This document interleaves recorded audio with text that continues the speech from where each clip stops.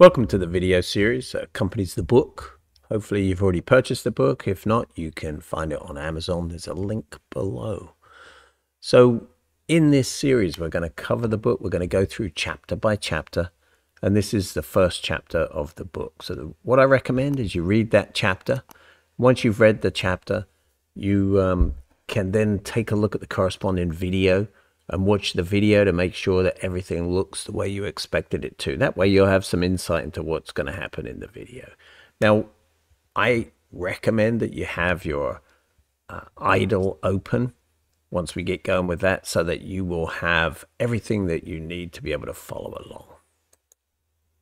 Now, the first thing we're going to do is we are going to download Python, and I'm already on the Python website. Here's www.python.org. And that website is where you're going to download the correct version for you. Clearly, if you're on Linux, you're going to be downloading a different version than if you're on Windows. So what we're going to do, I'm actually on Windows 11, so I'm going to be downloading the Windows version. If you're interested in seeing how to do it on Linux, I can certainly do that. I'm not going to do that by default, but if I get enough people asking for it, if you can leave a comment below in this video um, and ask for that, and I will certainly do a Linux version if that's something that you're interested in. To download the software, we're basically just going to hit that downloads, and then we're going to select the button that says Python 3.1 or 3.31 for Windows. And that will start the download and the software will be ready for us to install. And it's a it's an exe file, so for Windows it's very simple. I'm just going to say open once it gets down. And once I get that software on my system, I'm going to use the customize installation. And the reason I'm going to do that is I want to make sure that everything gets installed that we want. So all of those defaults that are there, we're going to accept those. And then I'm going to say on mine, uh, install for all users. If you don't have admin privileges on your computer, don't do that. But I'm going to do it because I do. And then on this next page, I'm going to make sure I install Python for all users. And then I'm also going to add the Python to environment variables. That's a super important one that you have to make sure you do. If you don't do that when you type Python, in the command window, it's not going to start for you, and that's going to be a problem. So I'm going to install that. I'll hit the install button, and it's setting up, and it's a pretty quick setup, and it's going to run through and install that software, and it does it. Uh, this is a real-time installation, so you can see it's pretty fast, and yours should be similar. If you're on Windows, the same as me, it should be a similar time that it takes for you to get your software installed. Once it's installed, we're going to start a command window. It's important if you've already clicked on the command window that you don't do that because the environment variables are set up, the path variable is set up at the end of the process. And if you've already opened your command window, that command window won't see the change in the path variable. So when you type python dash dash version, you're going to get an error because it won't be able to find Python. So if you have already started your command window, you might want to just close that and be patient. When this installation ends, that's when we'll be able to start a command window and then we'll test to see if everything is working correctly. Now it's getting near the end, so it shouldn't take long. Um, like I said, it's a pretty fast install and pretty straightforward. I've installed it a number of times and not had any issues with it. It it just um, works pretty well. And because we selected all the things we did, it's going to install everything that we need, including the the Pi py launcher. So you will be able to test that. That just type in py will actually run Python. That makes it very, very easy. And at this point, when I see the second O in those uh, brackets over there, that's about when it's going to finish. So here it goes. And our software is just about installed. So that's fantastic. And then I'm being patient. I'm not very good at being patient, but I'm being patient until it finishes. Then we're going to run a command window. Now, if you have PowerShell installed, you can absolutely do that. Now, this says now the Python is installed, you can go the online tutorial and all of that. You don't need any of that because this course is actually going to walk you through getting started with Python. So I'm just going to close that. And then I'm going to start a command window. Like I said, if you have PowerShell and, uh, installed, you can do a terminal window. But I'm going to just do command prompt, click that. And once that window pops up, I'm going to type py dash dash version. And it should tell me what version of Python we have. And there it does. And now I just want to test Python dash dash version. And that will test if my path variable is set up properly. And it is. So that's Python. If you don't get Python there, it could be that your path variable is not set up properly. Or it could be that you have to type Python 3 and dash dash version. Um, it's one or the other. So mine works with Python, so it doesn't work with Python 3, but yours may. So make sure you check that.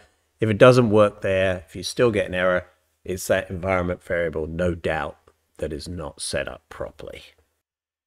And if your environment variable is not set up correctly, what you can do is go into Windows settings and just change it there. If you're on Linux or you're on a Mac, it's a slightly different setup, but you you can change the path variable from the system settings. Once we've got everything working, and in my case it's all working fine, what I'm going to do now is I'm going to start the idle interactive development environment that comes with Python. The reason we chose idle and didn't go to VS Code or something else is because it's included with Python, so there's no separate install for you. And all you do is just go on Windows, you can see where it's installed, it says idle, that's the one we want right there. So I'm going to start idle, just click that. And then when it pops up, I'm now in the interpreter. What I need to do is just start a new file so that we can start coding. So I'm going to go to File and New File. And now I'm in the editor. And in the editor, I can type our code. And we're going to do a very simple program. It's one that most programmers use as their first program. And this one is Hello World. And so we just type in Hello World. It's a print statement. And because print is a function, it has parentheses after it. And then anything that's inside those parentheses is what it's going to print as long as they're in quotes. So make it a valid string. It's going to print that out. Then I'm going to save it. I'm just going to save it in my documents and I have a Python folder that I'm going to drop it into. So I'll just pop it in there. And then once we are saved, we can run the program. So I'm saving it as hello world.py. Now I already have one in my file, so it's going to ask me if I want to overwrite it, and I will say yes. You won't have one, so it probably won't say that. So then we can just click run and pick run the module, or we can press F5. So you see that F5 is there for a reminder. Just click run module, then it runs and it prints out hello world into that terminal window.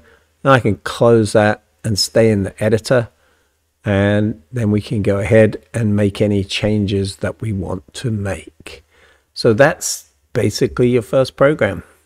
We're just print into the screen, hello world. Now, I encourage you strongly to make changes. So go ahead and change the text in there to something else that you want to see on the screen. And you can put anything you like in there. It doesn't, you know, it can be anything just to see what it looks like. So when you've done that, you can say, okay, and it'll run and welcome to Python is what I put in there. So you can put any text in there you like. I encourage you to do it a few times just to test it, just to get comfortable with it. And then maybe print an additional line. So I'm going to print something else below that. And try to think what's going to happen when it prints welcome to Python and then my name is Ian. What's actually going to happen when we run that? Just think about what the output might be. And you should do that whenever you do some code.